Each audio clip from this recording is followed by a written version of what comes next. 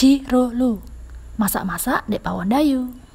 Halo lor, dek video kali ini Mak Dayu mau bikin lauk atau camilan yang enak banget Bahannya gampang, cuma dari tahu putih dan sosis.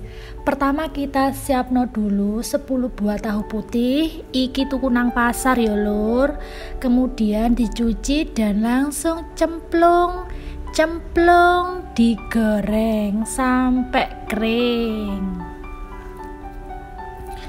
kalau sudah matang seperti ini lur ya, bisa langsung dientas.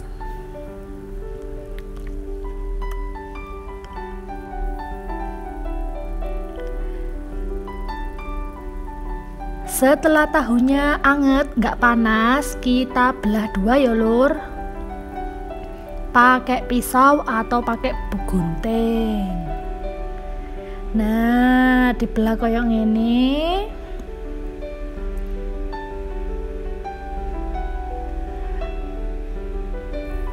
Kemudian kita siapkan wadah, masukkan satu sendok teh kaldu bubuk rasa apa aja dan satu liter air anget sambil diaduk-aduk.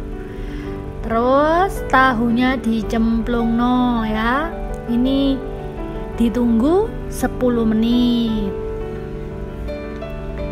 Setelah 10 menit kita agak peres sedikit ya, tapi jangan kekuatan power ya, nanti hancur tahu nih.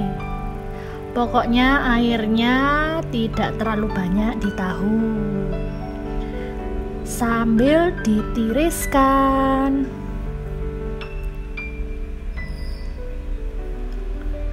Nek wes lur, ini airnya diguak ya lur dibuang. Kemudian kita siapkan 3 sendok makan tepung tapioka. Tahunya ini kita balur-balurkan ya sampai tertutup dengan tepung kanji alias tepung tapioka. Koyok ini ya lur. Lah iki wis dadi ya. Lanjut kita iris bawang pre atau daun bawang kita ambil ijo-ijonya aja. Diiris tipis-tipis. Kemudian sosis.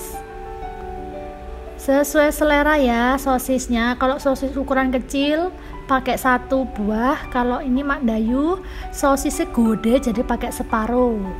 Kita potong kecil-kecil. Nah ketok-ketok kayak gini ya lur.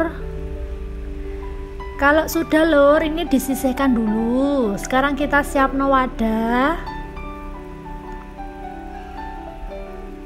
Masukkan 200 gram tepung kanji alias tepung tapioka. Tambah no karo tepung terigu 100 gram. Satu sendok teh kaldu bubuk bawang putih 3 siung yang sudah diulek halus daun bawang tadi yang sudah diiris dan sosis. Kalau mau dikasih cabai ya nggak popo kemudian garam setengah sendok teh air panas air yang benar-benar mendidih ya lur. 300 ml sambil terus diaduk-aduk sampai tercampur roto ya lur Nah, kalau sudah seperti ini lor, ini kita aduk sampai tercampur rata ya, nggak usah sampai kalis karena kita nggak mau bikin donat. Lanjut, kita ambil tahu yang tadi, kemudian bagian putihnya ya, bagian dalamnya kita kasih adonan kanjinya. Nggak usah terlalu sempurna ya lor, jangan dirapi-rapikan ya, malah yang bagus itu yang awur-awur aja. Nah, seperti ini lakukan sampai selesai. Ini satu adonan pas untuk 20 tahu ya.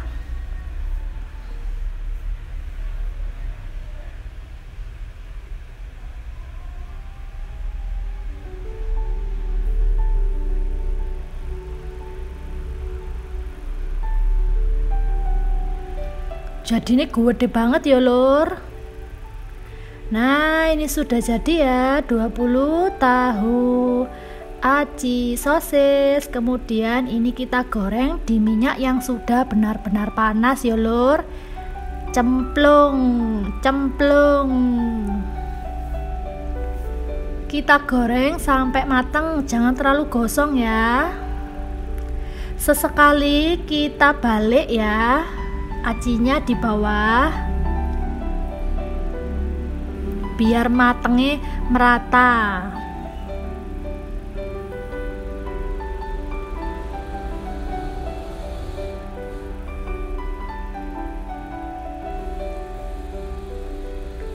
Nah ini sudah matang ya lur. Nggak usah terlalu kecoklatan ya. Gini aja sudah cukup. Bisa langsung dientas. Hmm enak ya lur. Lanjut digoreng sampai semuanya selesai ya lur.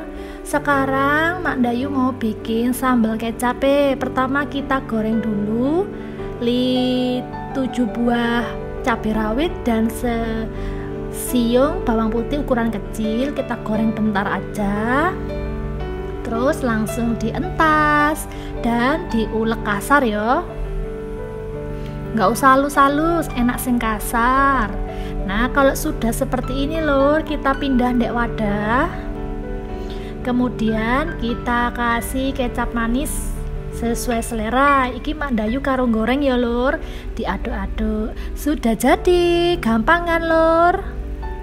Nah, saiki waktunya dicoba dulu ya.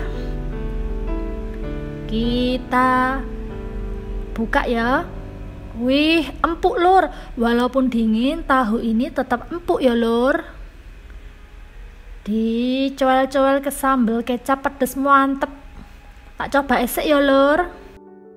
Monggo. Hmm, enak banget lor. Bisa langsung dicoba. Suwon yo lor, wes nonton videonya Mak Dayu lo. Ojo lali subscribe, like dan komen.